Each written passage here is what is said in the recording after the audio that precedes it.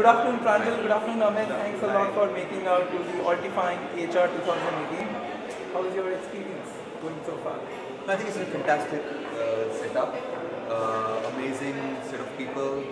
Um, we as Vertical invest a lot in HR, uh, and I'm looking to invest in know, new startups emanating in this field. I think that's the next frontier of disruption that's about to happen. So it's very exciting to see PeopleStrong organize such an event where you get HR professionals come in and appreciate the transformation that this industry is going likely to go through. Oh, that's, that's fantastic.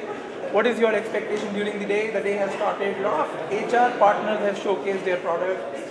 AI, deep learning, humanoid, and robotics are some of the products which you showcased here. What is your expectation while you are here? I think so when we look at the space uh, from a you know investment standpoint, I think one of the things which is extremely paramount, and something I was also brought up in the forum earlier, is the hack adoption, right? And I think technology today is transforming the way people are behaving. Uh, they're solving business problems. At the same time, I think technology should also appreciate that it's people who are actually using that, right?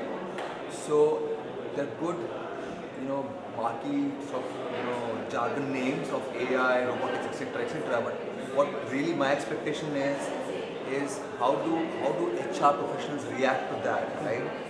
And how do they feel that their employees are going to quickly adopt some of these things, right? So I feel it's bound to happen. This change is definitely something that's bound to happen. Yeah. But the way it will happen and soon it will happen depends on how these products and these you know, firms are thinking about people adoption of their technology. Thank you, Pran.